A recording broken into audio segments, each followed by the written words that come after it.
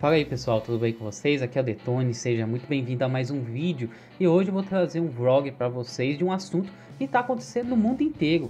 Eu particularmente sou usuário da Steam, tenho jogos lá que eu adoro, vocês bem sabem disso, mas a Steam está fora do ar no mundo inteiro, por incrível que pareça. Ela está fora do ar e algum dos motivos, alguns que tem sites que estão deduzindo e eu também não estava sabendo, fui saber só agora. É, ela fez a promoção de Natal com jogos a partir de 10 reais. E, na, na verdade, jogos menores de 10 reais. E tá tendo muito fluxo de gente para fazer compras desses jogos, estava sobrecarregado.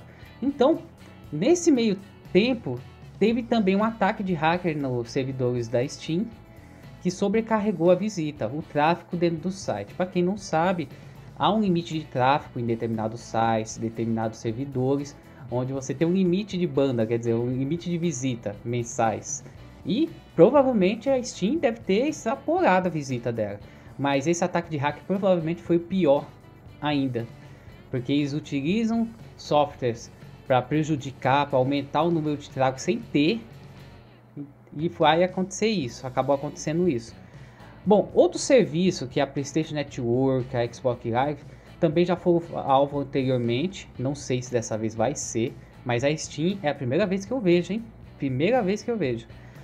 Mas é o ataque final do ano, é complicado. Então tem muita gente aí paciente querendo jogar seus jogos, não estão conseguindo. Já vou passar a dica para vocês que para quem quer jogar tem que deixar no modo offline. A mensagem que está aparecendo na tela quando você vai fazer o, quando você quer jogar, ele tá falando assim, ó, não é possível conectar a rede Steam. Tá falando para verificar sua internet e tentar mais tarde ou jogar no modo offline. A culpa não é do seu internet, a culpa não é da Steam instalada em você. Tá no servidor dela que foi derrubado, ela não está no ar. Bom, a principal empresa, a Steam, que é a Valve, não se pronunciou ainda.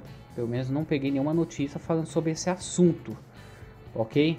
Mas estamos sem a Steam, não dá para me pegar promoção nenhuma dos jogos que estão aí. É uma pena, é uma pena mesmo.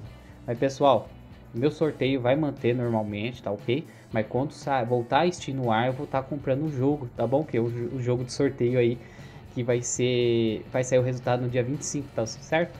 Somente do Rocket League, do o BF4 tá de boa, beleza? Se você tiver alguma, alguma informação a mais sobre a Steam, sobre as notícias que estão vindo, deixa aí no comentário, tá bom? Tá?